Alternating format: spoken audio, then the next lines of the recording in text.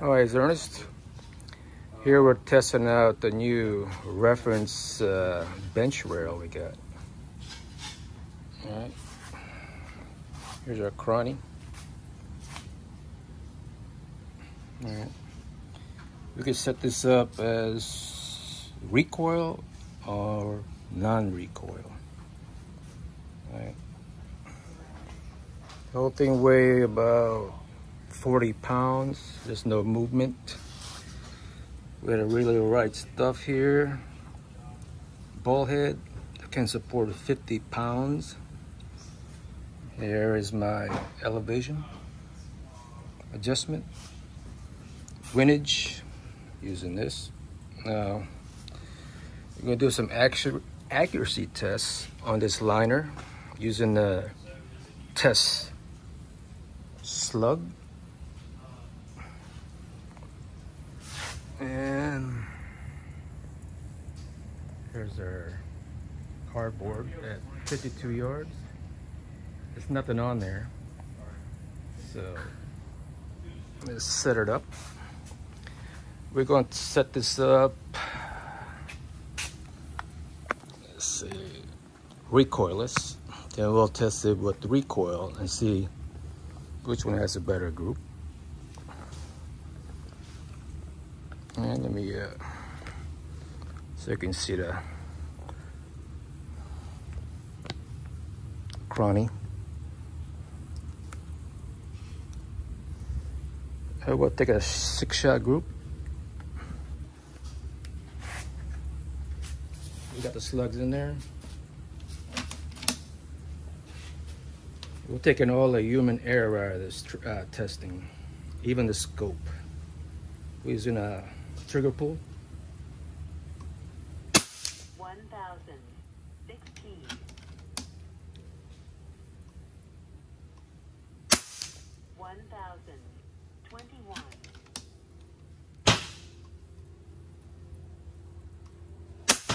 One thousand twenty-one.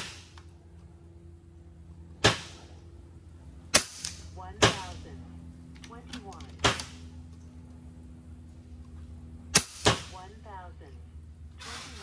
I lost count. I think this is five or six. on it.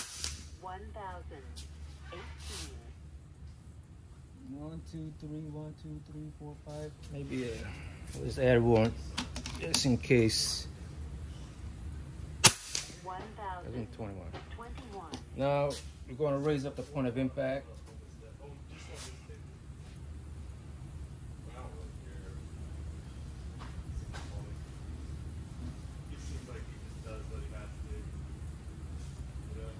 And and this one is going to recoil. We'll set it all the way forward and it'll recoil. All right is it this group?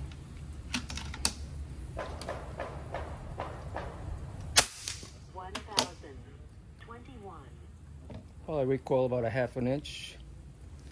This is a 44 grain slug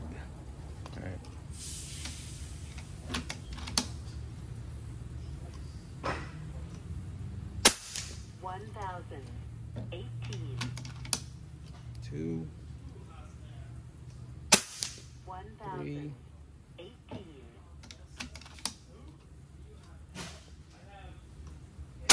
One thousand eighteen.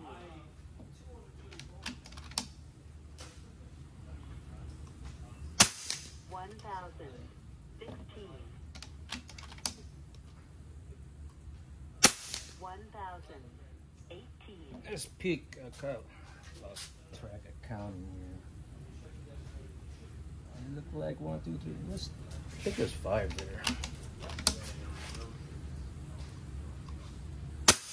One thousand eighteen.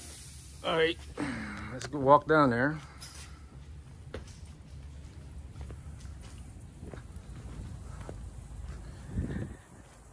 Yeah, I just uh, put this together this bench rail. It's out of my new 10 by 7 uh, lathe. And minimize me eye straining. All right. Then eliminate all those human error to get it testing of groups. This is what I do when I test a lot of liners. Remove the human error out of it.